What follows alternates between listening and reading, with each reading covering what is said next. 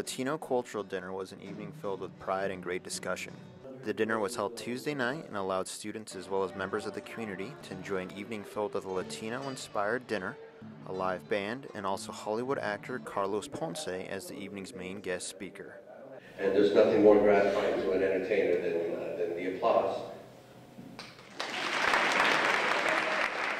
Ponce is a Latino actor known for his work in films like Rio, Spy, and Couples Retreat. Okay, now we go into the happy baby pose. He came to Illinois State to discuss his life and how proud he is to be Latino. He gave many words of wisdom to the audience and encouraged students to be proud of their heritage as well. ISU student Veronica Schmidt felt that she was able to relate to many of the ways Ponce has been represented by his Latino background.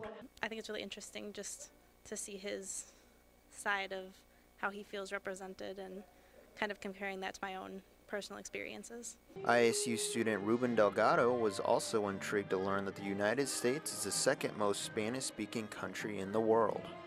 I found it was very interesting. He said the second was United States. I didn't know. I didn't believe it. I thought it was probably like Spain. That's where the Spanish originated from. Tonight, Hollywood actor Carlos Ponce spoke to a large number of students to spread awareness regarding Hispanic ethnicity on campus. Reporting for TV 10 News, I'm Zakk Fairley.